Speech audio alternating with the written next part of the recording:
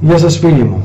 Έχουμε μιλήσει πάρα πολλές φορές για το τραύμα που κουβαλάει ο άνθρωπος όταν σκέφτεται με τον ερπετοειδή, θα λέγαμε εγκέφαλο, έξι, τον ηχθειοσαυρικό που λέμε, το πρώτο μέρος, τον αστικτόδη και από το θηλαστικό εγκέφαλο, έτσι, των ζώων, το ζωώδη, που από εκεί πέρα βγαίνουν συγκεκριμένα πάθη και τραύματα.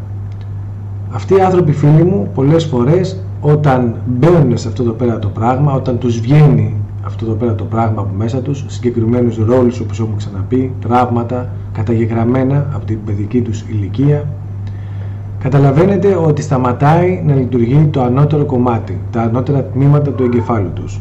Είναι σαν να παγώνουν εκείνη την ώρα, σαν να υπολειτουργούν, γι' αυτό όπως έχουμε πει και άλλες φορές, τα λέμε ελαττώματα συνείδησης. Καταλαβαίνετε φίλοι μου ότι αυτοί οι άνθρωποι όταν δεν ξέρουν τον εαυτό τους, ό,τι ειδικότητα και να έχουν πάρει, και αν λέγονται επιστήμονες, και αν λέγονται παπάδες, και αν λέγονται του εναλλακτικού χώρου, αν δεν έχουν μάθει τον εαυτό τους και δεν έχουν βγει έξω από αυτά τα πράγματα, πάντοτε και υποκαθορισμένες στιγμές αυτά τα πράγματα βγαίνουν από μέσα τους και κάνουν την, τη συνείδησή τους, θα λέγαμε, ελαττωμένη. Εκείνη την ώρα παθαίνουν τρία πράγματα. Ή κολλάνε μένουν ακίνητοι αντιμετωπίζοντας κάτι που τους επαναφέρει πάνω στο ίδιο πράγμα, παγώνουν θα λέγαμε, ή πολεμάνε ή φεύγουν. Ο χθιοσαυρικός εγκέφαλος σας κάνει λόγω του ενστίκτου εκείνη την ώρα και ότι νιώθεστε ότι απειλείτε, νιώθετε ότι δημιουργείτε εχθρούς γύρω γύρω και έτσι ή θα φύγετε τρέχοντας αναλόγως στη δύναμη θα λέγαμε που έχετε εκείνη την ώρα ή θα κάνετε κακό ή θα κάνετε ή θα πολεμήσετε. Βλέπετε οι άνθρωποι που ζουν από αυτά τα πράγματα ονομάζονται με λίγα λόγια ψυχοπαθείς. Και βλέπετε επίσης ότι αυτοί οι άνθρωποι υπάρχουν σε μικρό ποσοστό θα λέγαμε στην κοινωνία μας. Όμως δεν πάει να πει ότι αυτό το μικρό ποσοστό μπορεί να είναι 5-10% ίσως δεν μπορεί να είναι έτσι φτιαγμένο ανακοινωνίες και ειδικά στην Ελλάδα ώστε μόλις αυτοί οι άνθρωποι έρθουν κοντά η ψυχοπάθειά τους θα τους φέρει σε μια ένωση και μπορούν να κάνουν πράγματα πάρα πολλά, θα λέγαμε, πάρα πολύ επικίνδυνα για την υπόλοιπη κοινωνία. Φανταστείτε αυτοί οι ψυχοπαθείς άνθρωποι να βγάζουν αυτά τα τρία πράγματα, στασιμότητα, εχθρότητα, έτσι, και από την άλλη, θα λέγαμε, δρόμο, να πάνε να φύγουν. Δηλία, με λίγα λόγια. Φανταστείτε τώρα αυτά τα τρία πράγματα, αν δεν τα έχεις μέσα σου εξευγενήσει, αν δεν έχεις ανέβει πέρα από τα κάτω διαφραγματικά τσάκρα, πώς εκείνη την ώρα όταν, όταν έχεις μέσα σου, θα λέγαμε, το ίδιο δαιμόνιο, πώς γίνεται να μην μπορείς να αναλύσεις την πληροφορία. Έτσι αυτοί οι άνθρωποι, μη δουλεύοντας, τα λέγαμε με τον ολικό εγκεφαλό τους, κάθε πληροφορία τη βλέπουν μόνο κάτω από αυτή την κατάσταση, τα λέγαμε. Έχουμε μιλήσει τόσες φορές για τα τσάκρα, έχουμε μιλήσει τόσες φορές για τα εγώ, έχουμε μιλήσει τόσες φορές για τους ρόλους, για τις πεπιθήσεις. Η αντιληπτική τους κατάσταση, επειδή δεν μπορεί ο κατώτερος φυσικός νους να έχει τόσο πολύ φως μέσα, θα λέγαμε, με την έννοια της συνειδητότητας δεν μπορεί ακριβώς ο εγκέφαλος, θα λέγαμε, επειδή είναι φτιαγμένος για να λειτουργεί πάνω σε αυτή την πεποίθηση, πάνω σε αυτό το πρόγραμμα που τρέχουν, να έχουν ένα αναλυτικό, επεξεργαστικό, ορθή λογική και όλα τα υπόλοιπα που μπορεί να έχει ένας πιο ανεπτυγμένος εγκέφαλος. Αυτοί οι άνθρωποι λοιπόν φίλοι μου τριγυρνάνε δεξιά και αριστερά και το, θα λέγαμε, το περίεργο στην κατάσταση είναι ότι δεν μπορούν να τους καταλάβουν οι άνθρωποι που είναι αμύητοι. Τις περισσότερες φορές θα τους δουν φυσιολογικά να κάνουν ορισμένα πραγματάκια. Όμως, στην πραγματικότητα, στα διάφορα πράγματα, στις διάφορες ενεργοποιήσεις, εκεί μπορούν να δουν κάθε φορά το πώς συμπεριφέρεται κάποιος. Παρ' όλα αυτά όμως, παρόλα αυτά όμως, αυτοί ψάχνουν να βρούνε κατά τη δική τους την προσέγγιση συγκεκριμένα πράγματα για να συνεχίσουν τη θυματοποίηση την οποία, την οποία νιώθουν. Την ελάττωση την οποία στη συνείδησή τους θα λέγαμε τους φέρνει την έννοια του εχθρού άρα και του θύματος, του θήτη και όλα τα υπόλοιπα που μπορούμε να παίζουμε. Είτε γίνεται στην κατάσταση όλες τις σχέσεις μας, της οικογένειας, της δουλειάς μας. Βλέπετε φίλοι μου αυτοί οι άνθρωποι όταν έρχονται σε επαφή μαζί κάνουν συγκεκριμένες ομάδες. Ομαδοποιούν, και άμα έχουν δύναμη, κοιτάνε λοιπόν σε κάθε τμήμα που είναι να συμπεριφέρονται έτσι. Και βλέπετε όλοι μαζί ο ένας υποστηρίζει τον άλλον. Και η αλήθεια τους είναι αλήθεια. Τρόμος, πόλεμος, ακινησία και όλα αυτά τα πράγματα που δεν βλέπουν την κατάσταση στην οποία έχουν έρθει. Γίνονται οι σκληρότεροι θύτες, γίνονται οι σκληρότεροι μαύροι και ακόμα μέσα τους νομίζουν ότι είναι τα θύματα. Φανταστείτε αυτά τα άτομα τώρα στην εξουσία. Φανταστείτε αυτά τα άτομα στην εκκλησία, ξέρω εγώ, στις θρησκείες. Φανταστείτε αυτά τα άτομα στην αστυνομία. Φανταστείτε αυτά τα άτομα στο δικαστικό, θα λέγαμε μέρος. Φανταστείτε όλα αυτά τα άτομα να μπαίνουν σε διάφορα πράγματα και τότε θα καταλάβετε γιατί πολλά κέντρα δύναμης και εξουσίας θέλουν τέτοιου είδους άτομα να τα ανεβάσουν και να τα βάζουν σε θέση κλειδιά. Τώρα θα καταλάβετε αυτή η επικινδυνότητα την οποία έχουμε έρθει μέσα σαν κοινωνία, σαν ανθρωπότητα και αυτό το πράγμα που λέτε στην πραγματικότητα ότι οι εξουσίες και τα κέντρα λήψεων των αποφάσεων είναι από διάφορους είτε σατανιστές, είτε τρελούς, είτε ε, οπωσδήποτε ας πούμε τους λέτε, έχει έρθει από αυτό το, το πράγμα, από την έλλειψη αξιοκρατίας πραγματικής. Βλέπετε λοιπόν φίλοι μου αυτοί οι ψυχοπαθείς όλοι οι άνθρωποι, αυτοί οι παρανοϊκοί όλοι οι άνθρωποι κυκλοφορούν ανάμεσά μας και δεν μπορούν να κάνουν τίποτα άλλο παρά αυτοί ψάχνουν ειδικότερα έναν φίλο, έναν συνάδελφο, κάποιον οποιοδήποτε για να νιώσουν δύναμη. Ψάχνουν ειδικότερα να ενταχτούν, ψάχνουν πάρα πολύ την κοινωνικότητα, ψάχνουν να έχουν πολλούς ανθρώπους δεξιά και αριστερά τους. Αυτή η ψυχοπάθεια που λέτε φίλοι μου γίνεται επικίνδυνη ακόμα και στον εναλλακτικό χώρο, ακόμα και στον χώρο το πνευματικό. Αυτή η ψυχοπάθεια λοιπόν έχει έρθει πάρα πολύ κοντά, γι' αυτό και στον πνευματικό χώρο πολλοί ψυχοπαθείς, επειδή σίγουρα ο πνευματικός χώρος με την ψυχοπάθεια, επειδή ασχολούνται με τον εσωτερικό κόσμο, πάρα πολλοί άνθρωποι μπαίνουν σε αυτό το πέρα το μονοπάτι. Από τη δική μου την όραση βλέπω πάρα πολλές φορές στην εσωτερική πόσοι άνθρωποι έχουν ψυχολογικά προβλήματα, ενώ ασχολούνται με τα εναλλακτικά. Τώρα καταλαβαίνετε γιατί όλα αυτά τα πράγματα που έχουν βγει, τα ρέικι, εναλλακτικές, τα πράνα και όλα αυτά τα πράγματα που ασχολούνται μόνο με την ενέργεια και όχι με την ψυχική αναβάθμιση του καθένα, δινόντουσαν παλιά σε ανθρώπους μοιημένους και όχι στον καθένα. Ναι. Μήπως έχετε ακούσει ποτέ κάποιος να δώσει εξετάσεις να πάρει τη μοίηση του ρέικι και να κόπηκε; Μήπως ακούσατε ποτέ κάποιον να, να υπάρχει κάτι που να μετράει αυτό το, το πράγμα, αν μπορεί να το πάρεις ή όχι; Ακούσατε τίποτα τέτοια πράγματα; Μήπως βλέπετε στην πολιτική αν υπάρχει αξιολόγηση του καθένα; Δεν βλέπετε τι γίνεται στην πολιτική; Ψυχοπαθείς απλά τους στέλνουν γιατί είναι τα τσιδάκια τους. Το ίδιο πράγμα φίλοι μου γίνεται παντού. Μη σας παραξενεύει λοιπόν όταν βλέπετε αποφάσεις και ανθρώπους να συμπεριφέρονται και με μένος, να λένε λόγια, να κάνουν κατάκριση των εξουσιών που έχουν, να πιάνουν φιλίες, να θέλουν να γίνονται πολλοί, να θέλουν να δείξουν έναν εαυτό από το κόμπλεξ το οποίο έχουν μέσα τους. Κοιτάξτε ακόμα και τον Πρωθυπουργό, πόσο κόμπλεξ κρύβει μέσα του σαν άνθρωπος. Βλέπετε από το μένο που έχει. Κοιτάξτε όλους τους ανθρώπους πόσο μέσα τους τι κρύβανε για να έρθουν σε αυτή τη μάχη και από τη μία πλευρά και από την άλλη την πλευρά.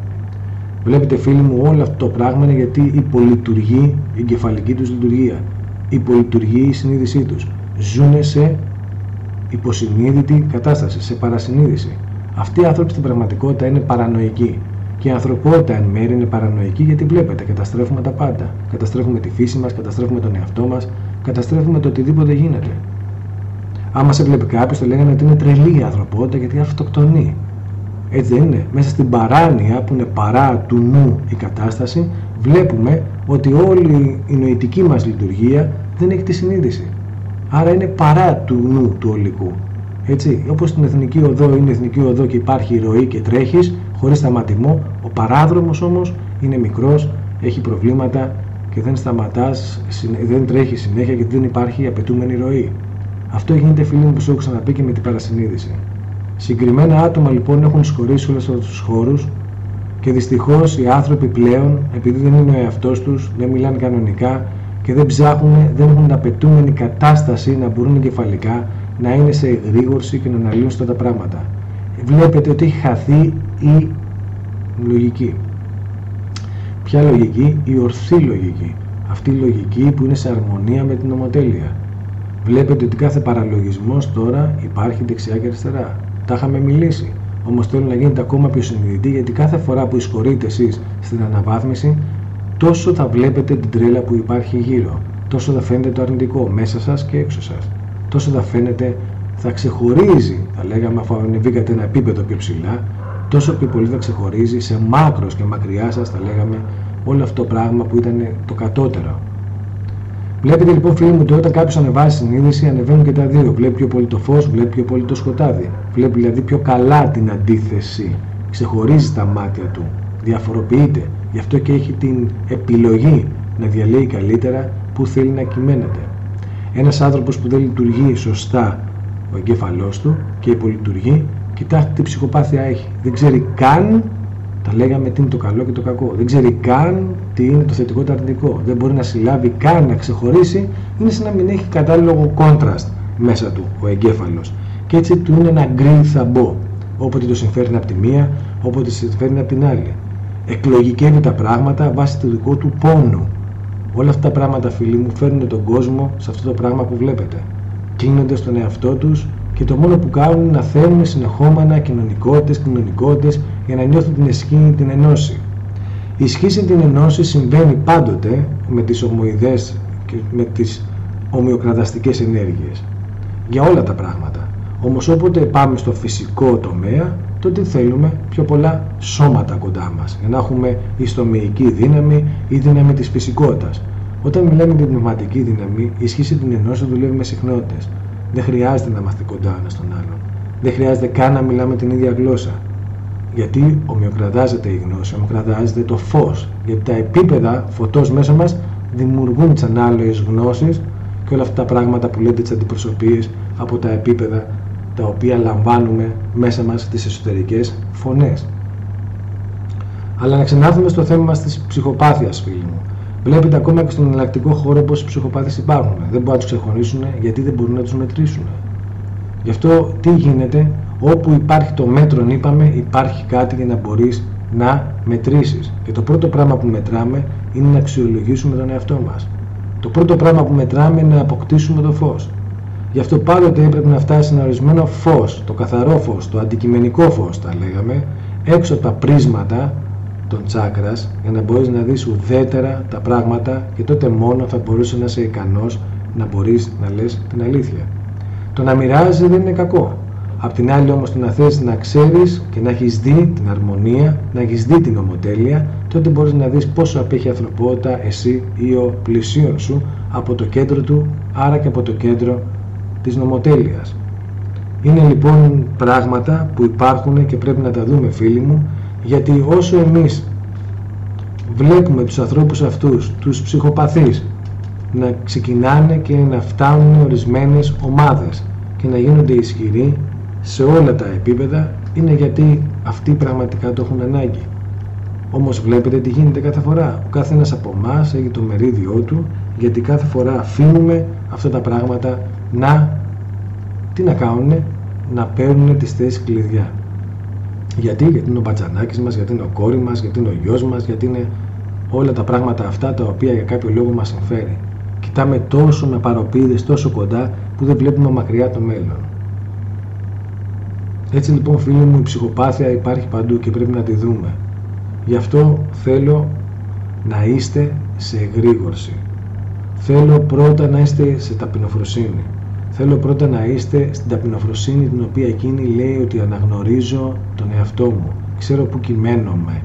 Ξέρω ποια είναι ακόμα και τα λάθη μου. Αρχίζω και τα αναγνωρίζω τα λάθη μου. Αρχίζω και σιγά σιγά γίνομαι καλύτερος. Και μόλις φτάσω σε ένα σημείο να μπορώ να βρω το κέντρο μου, τότε τι κάνω, το ενώνω το κέντρο μου με το κέντρο του πλανητικού λόγου. Το ενώνω το κέντρο μου με το κέντρο του συμπαντικού λόγου. Αυτό σημαίνει εναρμόνιση με τα παιδεία, τα εξώτερα. Αυτό σημαίνει εναρμόνιση με την ομοτέλεια. Όταν εμείς όμως δεν εναρμονιζόμαστε με τη φύση, δεν εναρμονιζόμαστε με την συλλογικότητα θα λέγαμε της γης, δεν εναρμονιζόμαστε με τον οργανισμό που λέγεται γη, δεν, δεν εναρμονίζεται το μυαλό μας με τον οργανισμό που λέγεται ο λικός εαυτός μας, τότε αρχίζουν όλα αυτά τα προβλήματα, αρρώστιες, ψυχοπάθειες και όλα τα υπόλοιπα. Λίγο λίγο πρέπει να τα εξερευνούμε. Και το πρώτο πράγμα που κάνουμε είναι να αυτοτεσταρόμαστε, να αυτοπαρατηρούμαστε. Αλλά ο παρατηρητής ποιος πρέπει να είναι; Ο παρατηρητής πρέπει να είναι το μεγαλύτερο φως μας. Δεν μπορούμε εμείς συνέχεια όταν φτάνουμε στο μεγαλύτερο φως μας και αν δεν το έχουμε φτάσει και αν δεν μπορούμε να το ελέγξουμε και αν δεν μπορούμε να το χειριστούμε, να λέμε ότι ξέρουμε να ονομαζόμαστε κάπως ή να ξεκινάμε στους άλλους ανθρώπους και να είμαστε σε κατάσταση, θα λέγαμε, κρίσης. Βλέπετε φίλοι μου, ο καθένας μπορεί να κρίνει μόνο από το επίπεδο του και κάτω. Και αυτό λοιπόν εμείς μπορούμε και το επιβεβαιώνουμε με όλα αυτά τα πράγματα που συμβαίνουν σήμερα στην ανθρωπότητα. Μερικοί άνθρωποι λοιπόν έτσι είναι σε μικρό ποσοστό, δεν λέω, αλλά αυτό το μικρό ποσοστό αρχίζει και ενώνεται ομοιοκραταστικά. Αυτό το μικρό ποσοστό αρχίζει και ενώνεται και αρχίζει και παίρνει πρωτοβουλίες όσο εμείς αφινόμαστε που στη φυσική πραγματικότητα. Η φυσική πραγματικότητα θέλει τα σώματα μαζί, να είναι μαζί για να έχει δύναμη. Όσο εμείς δουλεύουμε πνευματικά, χρειάζεται μόνο να συγχρονιστούμε μέσα μας με τις δονήσεις που έχουμε. Όταν όμως εμείς, περισσότεροι, θα λέγαμε άνθρωποι που έχουν την πνευματική τους ανάπτυξη, αφήνονται σε μια μοναχικότητα. Και αυτή η μοναχικότητα τους κάνει ναι, μεν συνδεδεμένοι, αλλά όχι τόσο πολύ στο φυσικό πεδίο. Το αντίθετο γίνεται με τους άλλους ανθρώπους. Θέλουν να είναι συνδεδεμένοι συνέχεια μαζί για να νιώθουν αυτό το πράγμα, γιατί δεν μπορούν να το νιώσουν μέσω της μοναχικότητας. Αυτά τα δύο πράγματα όμως, φίλοι μου, καταλάβετε ότι οι άνθρωποι που δουλεύουν με αυτή την ψυχοπάθεια, την ελάττωση συνείδησης, αυτές οι ψυχές που ακόμα δεν έχουν εκφραστεί και δεν μπορούν να εκφραστούν ακόμα και να κατεβάσουν φως μέσα από το σκοτάδι που έχουν, τα βλέπουν τα πράγματα διασταυλωμένα, όπως το, το σπήλαιο του Πλάτωνα. Καταλαβαίνετε λοιπόν φίλοι μου, αυτά τα άτομα ποτέ δεν έπρεπε να έρθουν στην εξουσία. Ποτέ δεν έπρεπε να γίνουν οδηγοί. Ποτέ δεν έπρεπε να φτάνουν μπροστά και να τους αφήνουμε να, να παίρνουν συγκεκριμένες πρωτοβουλίες. Γι' αυτό πάντοτε φίλοι μου, σε όλους τους τομείς πρέπει να δουλέψει ξανά η αξιοκρατία. Πρέπει να δουλέψουμε ξανά με εκείνο το πράγμα που υπάρχει ένα μέτρο. Με εκείνο το πράγμα που μπορείς να μετρήσεις και να πεις και να δείξεις και να αναποθέσεις. Βέβαια το μεγαλύτερο μέτρο της ζωής είναι ο χρόνος και αργά ή γρήγορα όλα θα φανούν. Όμως στην πραγματικότητα πρέπει να υπάρχει ένα μέτρο σε αυτό το πέρα το πράγμα για να ξέρουμε ο καθένας για κάποια φορά τι ιδιότητα έχει και αν μπορεί να την υποστηρίξει. Η ψυχοπάθεια λοιπόν φίλοι μου αυτόν τον καιρό είναι στα μέγιστα ύψη. Γι' αυτό και λέγεται καλή γιούγκια, γι' αυτό και λέγεται όλο αυτό το πράγμα. Η ψυχοπάθεια, ας πούμε, ακόμα και στον εναλλακτικό χώρο τα είπαμε. Βλέπετε εκεί πέρα, ασχολούνται όλοι οι άνθρωποι και λένε οι μισοί πάνε, κάνουν ρέικι, τα υπόλοιπα, τα εύκολα. Πράγματα που δεν κατακρίνουμε μεν, αλλά από την υπόλοιπη πλευρά, όταν είναι ο άλλος καθαρός, όταν δεν μπορεί να μπει στην καθαρότητα μέσα του, όταν δεν μπορεί, τι θεραπείες γίνονται. Μεταξύ τους λοιπόν, όλοι μαζεύονται και ευλογούν τα γένια τους. Μεταξύ τους αυτοθεραπεύονται. Ο ένας που πιστεύει με τον άλλο που πιστεύει. Ονομάζουν πράγματα. Λένε, λένε, λένε ένα εκατομμύριο πράγματα, φίλοι μου. Βέβαια, τι να κάνεις, έτσι είπαμε ότι είναι η ζωή. Αλλά αυτή η ψυχοπάθεια δεν πρέπει να αφήνεται, φίλοι μου, γιατί πρέπει να ξεκινάμε και να μετράμε. Πώς να μετράμε, Να μετράμε το αόρατο, γίνεται στα μάτια. Όχι όταν δεν έχουμε αναπτύξει τα εσωτερικά μας όργανα. Γι' αυτό σας είπα παλιά, οι μόνοι που κάναν αυτά τα πράγματα ήταν οι μοιημένοι. Τώρα σου λέει κάποιος, εγώ σου μεταδίδω ενέργεια, σου στέλνω ρέικι, σου κάνω έτσι, σου κάνω το άλλο. Λες και πριν το ρέικι δεν υπήρχε τίποτα. Λες και πριν το ρέικι δεν γινόταν θεραπείες. Θα μου πεις, φταίει αυτή του είδους η εξέλιξη, δεν φταίει. Ο καθένας ονομάζει ό,τι θέλει, ό,τι θέλει και αρχίζει και λέει τα ίδια πράγματα με άλλο τρόπο. Αυτό είναι στην πραγματικότητα. Τα ίδια πράγματα με άλλο τρόπο. Όταν είσαι καθαρός στην ψυχή σου, ό,τι και να κάνεις, είτε σκέφτεσαι για τον άλλον, είτε μιλάς για τον άλλον, είτε κάνεις για τον άλλον, η καθαρότητα της ψυχής σου πηγαίνει και είναι σαν να τον αγκαλιάζει. Σαν να το βλέπεις στην καλύτερη του πραγματικότητα.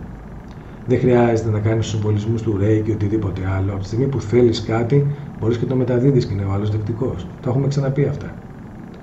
Στην περίπτωση των σωμονοσιολόγων, βλέπετε όλοι οι άνθρωποι με καλή πρόθεση. Παρ' όλα αυτά τους βλέπετε σε ψυχοπαθείς να μιλάνε και να μιλάνε για αυτούς, για αυτούς, εκείνοι που κάνουν και εννοούν τα πράγματα τα αφηρημένα στη φαντασία τους, χωρίς να μιλάνε για πρόσωπα, μιλάνε για σέκτες, χωρίς να έχουν ονόματα και να πούν αυτό, εκείνο, το ένα, το άλλο αποδείξει, απλά επειδή ακούνε. Σαν ψυχοπαθείς όλοι μιλάνε και λένε, λένε, λένε και μιλάνε για ένα άγνωστο κακό και δεν ξέρουν ποιον είναι ή καμιά φορά μπορούν να στο ονομάσουν εξωγήινους, μπορούν να το ονομάσουν Ιλουμινάτι, έτσι σε γενικά πλαίσια, για να έχεις ένα κακό κάτι, τους κάνει κάτι κακό και ότι εσύ πρέπει να αντιμετωπίσεις αυτό τον εχθρό.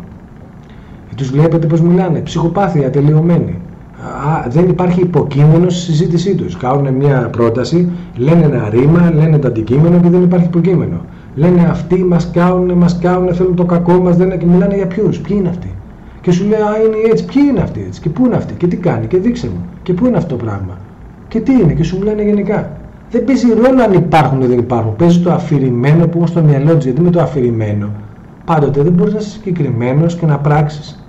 Το αφηρημένο, ο αφηρημένος νους, φίλοι μου, ποιος είναι, είναι ο νους που δεν είναι συγκεκριμένος, αλλά του λείπει πρακτική.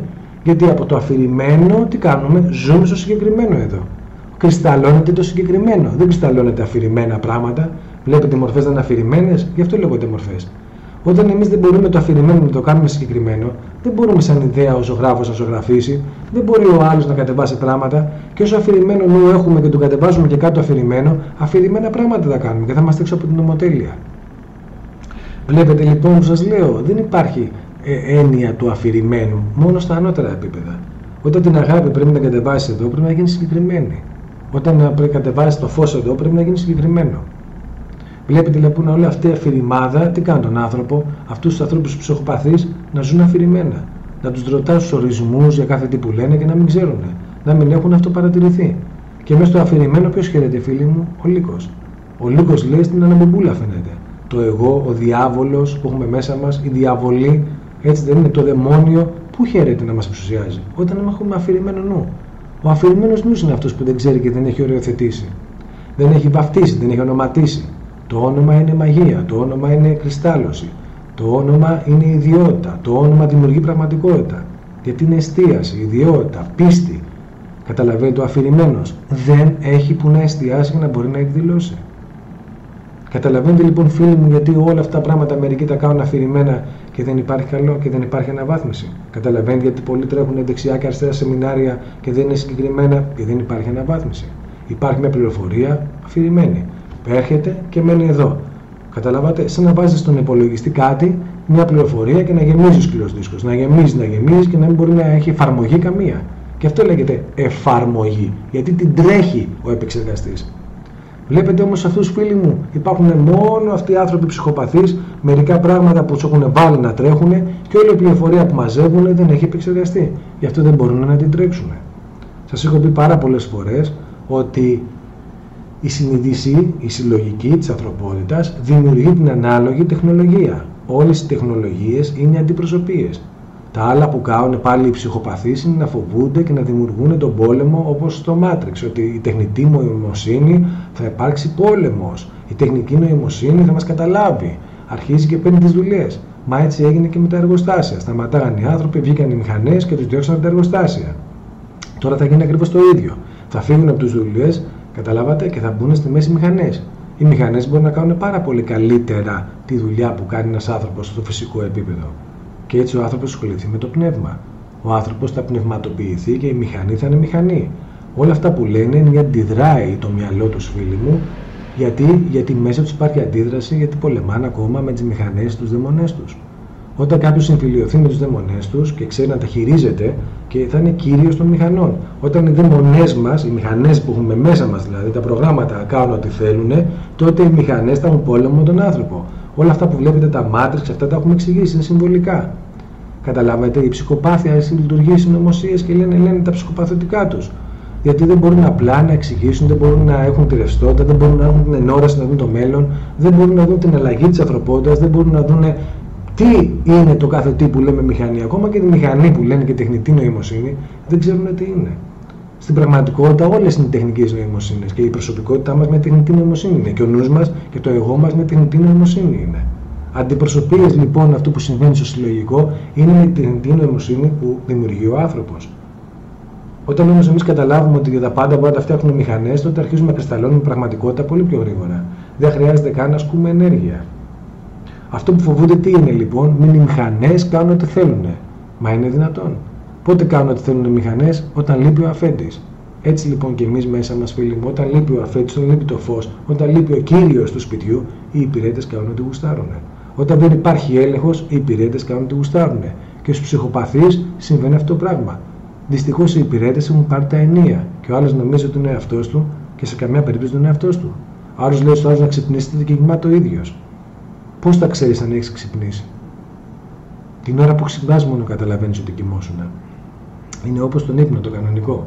Βυθισμένοι λοιπόν σε όλα αυτά τα πράγματα βγαίνουν και λένε και λένε στο ίντερνετ, βγαίνουν και λένε από εδώ και κάθονται οι άλλοι άνθρωποι γιατί αρχίζει και εγκλωβίζεται αυτό το πράγμα που έχουν γιατί ο, αν δεν είσαι σε εγρήγορση και αν δεν είσαι σε εγρήγορση να μην γοητεύεσαι ακριβώς επειδή αυτό ηχεί πάνω στο ηχθειοσαυρικό και η χ πάνω στον θηλαστικό εγκέφαλο, αυτόματα του γεννάει και το αλλονού το ίδιο πράγμα και αρχίζει ο άλλος σιγά σιγά και εγωιτεύεται και πέφτει στη γοητεία. Και αυτό, αυτό το πράγμα υπάρχει, όπως σας έχω πει και με τα εγρηγορώντα και με όλα τα υπόλοιπα πράγματα. Αυτοί λοιπόν οι ψυχοπαθείς οι άνθρωποι σιγά σιγά την κάνουν, καλάνε και τους άλλους που δεν έχουν την εγρήγορση, που δεν έχουν την καθαρή ματιά, που δεν έχουν τη διέστηση, καλάνε και τους άλλους και πέφτουν στην ψυχοπάθεια και οι άλλοι. Και κολλάνε και συγχρονιστικά γιατί δεν έχουν την απαιτούμενη ψυχική θέληση, ενέργεια, γνώση, ακαιρεότητα, κρυστάλλωση, διέστηση, ενόραση, όλα τα εσωτερικά επιτεύγματα που σε αφήνουν που σε αφήνουν να έχεις τη δύναμη να μπορείς να καταλάβεις τη γοητεία, να καταλάβεις το μαγκανισμό, να καταλάβεις όλα αυτά τα πράγματα που υπάρχουν. Και έτσι φίλοι μου όλη αυτή η μαύρη μαγεία είναι αυτό το πράγμα που σας λέω. Η μαύρη μαγεία δεν είναι τίποτα άλλο παρά δουλεύεις αυτά με τα κατώτερά σου κέντρα, εγωιστικά, έτσι και να κάνεις πράγματα που στην πραγματικότητα αν στην αγάπη δεν θα έκανες. Αρχίζεις και γίνεσαι εχθρός, αρχίζεις και φεύγεις, αρχίζεις και παγώνεις, μην στάσιμο. Αρχίζεις μέσα σου και έχεις πολλά πράγματα και η σκοπή σου είναι τελείως ιδιωτελής. Ακόμα όμως δεν το έχεις κάνει γιατί ευλογείς τα γένια σου. Ευλογείς τα γένια σου κάθε φορά και λες εντάξει. Όμως δεν είναι έτσι φίλοι μου. Η ψυχοπάθεια λοιπόν που υπάρχει γίνεται αντιληπτή στους ανθρώπους που έχουν, θα λέγαμε, την καθαρή ματιά. Η ψυχοπάθεια αυτή που υπάρχει φίλοι μου υπάρχει σε όλους τους τομείς. Αυτό είναι το πρόβλημα και αυτό πρέπει να φτιάξουμε σαν ανθρωπότητα. Για να το κάνουμε αυτό λοιπόν, σιγά σιγά τι είπαμε, θα γίνει ο διαχωρισμός. Θα γίνει ο διαχωρισμός και σιγά σιγά επειδή μπαίνουμε στην τέταρτη, θα λέγαμε, ολοκληρωτικά πλέον πυκνότητα, η τέταρτη πυκνότητα είναι τέτοια η συγχρονισμός και των ενεργειών που όλα τα κατώτερα θα λέγαμε τμήματα δεν τα αφήνει. Και επειδή ότι έχουμε μέσα μας τι κάνει, όταν αλλάζουμε συχνότητα αρχίζουν και έρχονται προς τα έξω όπως μια σφαίρα, όπως η γη που γυρίζει, το εσωτερικό το βγάζει έξω, έτσι ακριβώς και εμείς. Κάθε φορά που αλλάζουμε συχνότητα και δύναμη μέσα μας και δουλεύουμε με παραπάνω φως, όλα τα σκοτάδια βγαίνουν προς την επιφάνεια. Σαν αρρώστιες, σαν σενάρια, σαν πράγματα του εαυτού μας, σαν εκφράσεις, όλα βγαίνουν στην επιφάνεια, ό,τι γίνεται τώρα στην ανθρωπότητα. Η ψυχοπάθεια λοιπόν τώρα φίλοι μου έχει βγει στην επιφάνεια και πλέον αυτά που βλέπανε μόνο μερικοί τώρα φαίνεται παντού. Όμως ακόμα σας είπα, δεν είναι έτσι ώστε να μπορεί όλος ο κόσμος να το δει.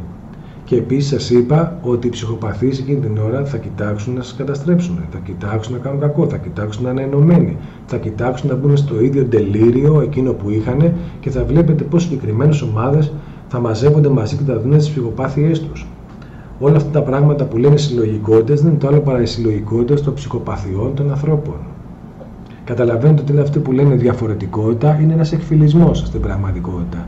Γιατί δεν έχουμε μια διαφοροποίηση, αλλά ένα συγκεκριμένο επίπεδο που να πηγαίνει αρμονικά. Έχουμε ένα εκφυλισμό της κεντρικής, θα λέγαμε, οδού της ανθρωπότητας σαν ανθρωπότητα. Όλο αυτός ο εκφυλισμός θα λέγαμε του DNA τι κάνει, θα φτάσει σε ένα σημείο να μην μπορεί να συνεχίσει και θα βγαίνει με προβλήματα. Μόνο όταν εμείς πειράξουμε θα λέγαμε τον εαυτό μας, δημιουργώντας μέσα μας διαφορετική συμπεριφορά, τότε θα βλέπαμε ότι εμείς αλλάζουμε, αλλάζει μέσα μας, αλλά για να γίνει αυτό πρέπει να καθαρίσουμε φίλοι μου. Για να γίνει αυτό πρέπει να περάσουμε από μια είδους κάθαρση όλοι μας. Όχι συνεχόμενη, αλλά μια είδους κάθαρση ώστε να μπει μέσα μας, να φτάσουμε στο το επίπεδο, να έχουμε το καθαρό φως της επόμενης, θα λέγαμε, συνειδησιακής πυκνότητας φωτός. Μετά, αφού έχουμε φτάσει σε αυτό το επίπεδο, σιγά σιγά αυτό το επίπεδο θα κάτσει, αυτό το φως θα βγάλει λίγο λίγο μέσα μας το οτιδήποτε έχει γίνει. Όσο δουλεύουμε και εντατικά, τόσο και πολύ θα βγαίνει. Αλλά πρέπει πρώτα να φτάσουμε σε μια καθαρότητα. Γι' αυτό ο Πυθαγόρας πάω τους νέους, θα λέγαμε, μάθητες, δεν τους άφηνε να μιλάνε. Τώρα υπάρχει ένα είδος, ο κάθε ένας, λόγω για καλά της ευαισθησίας που έχει και τόσο πολύ που έχει ανοίξει η καρδιά του, τους βλέπει όλους ίσου που έχουν ξεχάσει την ιεραρχία, που έχουν ξεχάσει την ταπεινοφροσύνη, που έχουν ξεχάσει οι ίδιοι ότι δεν ξέρουν, που έχουν ξεχάσει να μην μιλάνε, που δεν ξέρουν τίποτα. Και όμως όλα αυτά τα πράγματα βλέπετε ο καθένας λέει τα δικά του, βγαίνει, ελευθερώνει ο καθένας τα εσωτερικά του πράγματα. Με όλε αυτές λοιπόν τις πληροφορίες πρέπει να καταλάβει ο άλλος ο απλός πολίτης ποιος είναι ο ψυχοπαθής που του μιλάει και πώς την κατάσταση αυτή που θέλει να του μεταδώσει τη δίνει με ένα είδος ψυχοπάθεια γιατί χτυπάει, θα λέγαμε μέσα μας, τα τα κατώτερα σημεία. Πληροφορίες συγκεκριμένες με τον τρόπο που δίνονται χτυπάνε τα κατώτερά σας σημεία και σας βγάζουν έξω το, αισθηκτό, το αισθηκτόδη χθιοσαυρικό εγκέφαλο. Πληροφορίες συγκεκριμένες όπω σας δίνουν, και αυτό συμβαίνει τώρα το πιο πολύ καιρό, χτυπάνε το φυλαστικό εγκέφαλο που είναι για το συνέστημα. Σας χτυπάνε στο συνέστημα και όλοι αυτοί που είσαστε στην πραγματικότητα τραυματισμένοι, κακοποιημένοι, θύματα της ζωής, παραπονιάριδες, ότι κάποιος σας έκανε κακό και όλα αυτά τα πράγματα. Έρχονται μερικοί τύποι και τύπησες και καότε και σας λένε και καλό σας βοηθάνε και αρχίζουν και μεγαλώνουν αυτό το ρόλο που έχετε μέσα σας. Εσείς βλέπετε ένα προσωρινό καλό, αλλά είναι σαν να δίνουν πρέζα στον πρεζάκια. Καταλαβαίνετε, θέλω να ξεφύγετε από εκεί. Κάθε ένας που έρχεται και σας χτυπάει στην πλάτη και σας λέει: Ναι, μωρέ, εντάξει, δεν πειράζει, καταλαβαίνω. Φύγε, κάνε, τρέξε, όχι, μείνε. Και δεν σας λέει να πάρετε το μάθημα. Αρέσει σε ποιο ρόλο σας, στο κακομίρι ρόλο σας, στο πονεμένο ρόλο σας, στον τραυματισμένο ρόλο σας, αυτό που ακόμα παίζετε.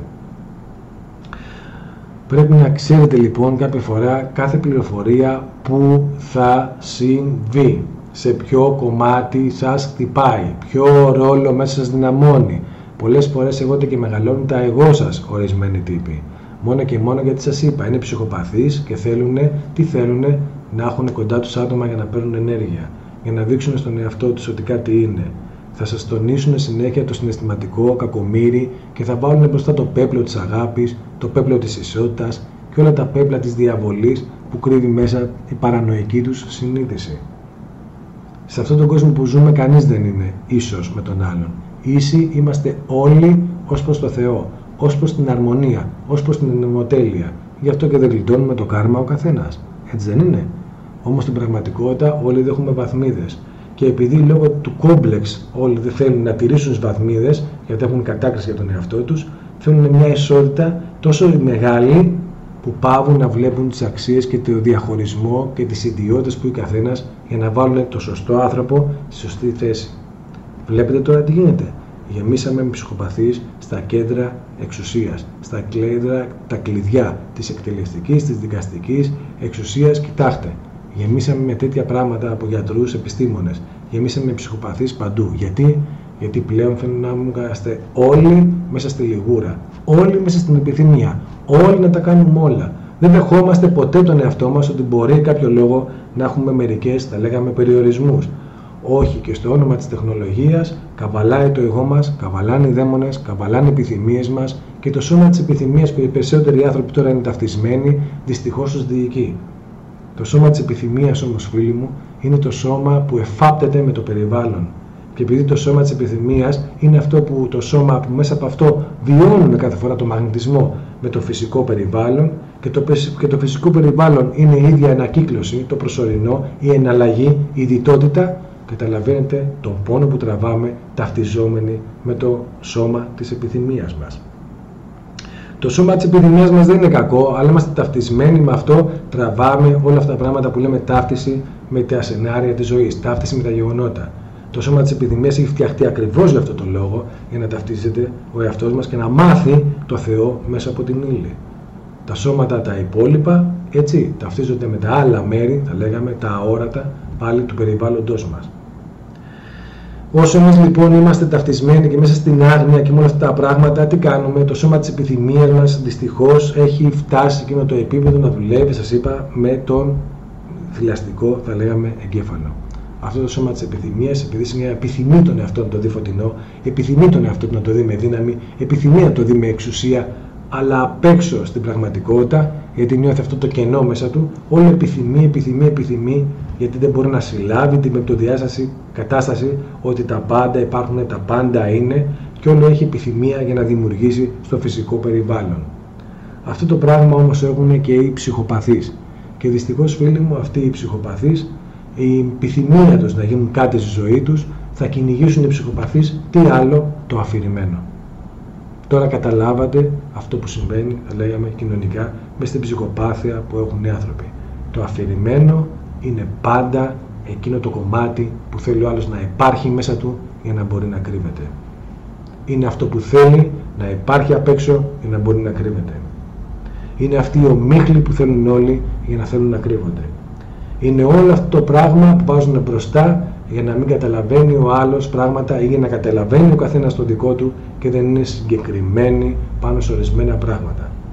Το αφηρημένο φίλοι μου είναι εκείνο το κομμάτι που ο άλλος το χειρίζεται σαν το πνευματικό, αλλά από την άλλη δεν μπορεί να το φέρει κάτω εδώ πέρα και να γίνει επιστήμη, που σημαίνει επίσταμε, που σημαίνει στέκομαι, που σημαίνει ότι είναι ορθή λογική. Και δεν λέω ορθή λογική την ακαδημαϊκή, προσέχτε, λέω ορθή λογική, να επίσταται, να υπάρχει ορθός λόγος που έρχεται από την ανάλυση των πληροφοριών μέσα μας τη σωστή επεξεργασία όταν έχουμε το φως. Χωρίς φως με σκοτάδι ο καθένας άλλα πιάνει και άλλα νομίζω ότι είναι. Πρέπει πρώτα λοιπόν οι άνθρωποι να αναπτύξουν το φως και μετά να εξερευνούν. Είναι σαν να βάλουμε έναν τυφλό και να το γυρίσουμε σε όλο τον κόσμο. Πρώτα να τον κάνουμε να δει και μετά όπου και να πηγαίνει θα παίρνει σωστές πληροφορίες. Όχι της φαντασίας του. Αυτά είχα να πω με την ψυχοπάθεια στις μέρες μας. Ειρήνη σε όλους.